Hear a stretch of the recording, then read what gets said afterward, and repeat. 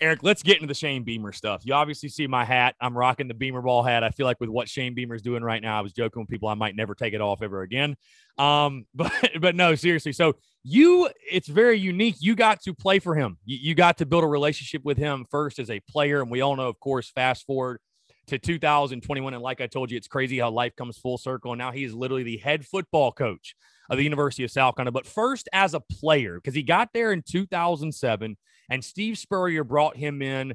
Obviously, we all know his track record with special teams and all that, but to be a master recruiter as well and a guy who could relate to players. And, you know, I thought was really interesting, Eric, when Shane got the job and I, your name was somehow brought up and maybe there was a highlight or something like that. But Shane Beamer showed off the picture he has on his desk of you and him, I think like chest bumping or, or embracing or something like that. But as a player, what was it like going and or getting to know Shane? Because obviously you had been there for a year, but somebody who again really touched all parts of the team. What was he like as a player? What do you remember most about Shane Beamer during your time in Columbia at the University of South Carolina?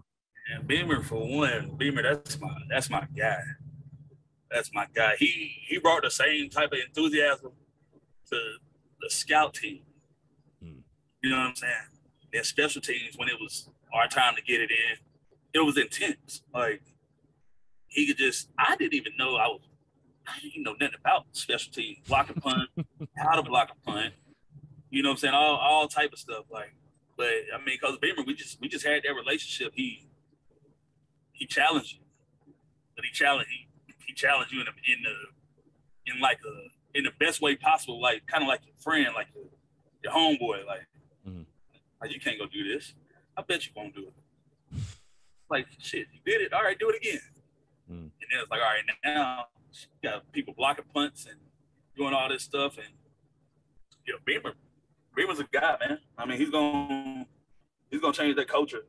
Mm.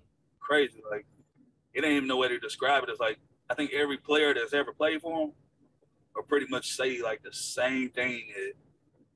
He's a leader. You know what I'm saying?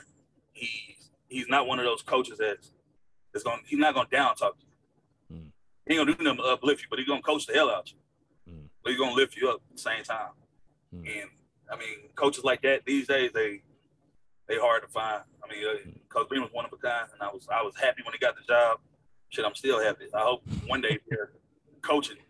One day he's still there, just being on his staff somehow, mm. just because of the type of coach he is, and I, I know he's gonna bring in that university. And, mm and the people that he's bringing back hmm. to help build that, like with DeMarco and Shaq hmm. Wilson all those guys, it's like you you, you can't beat that. He, he knows exactly what he's doing. He's gonna get it done. He might need a little time, hmm. but he's definitely gonna make it happen though.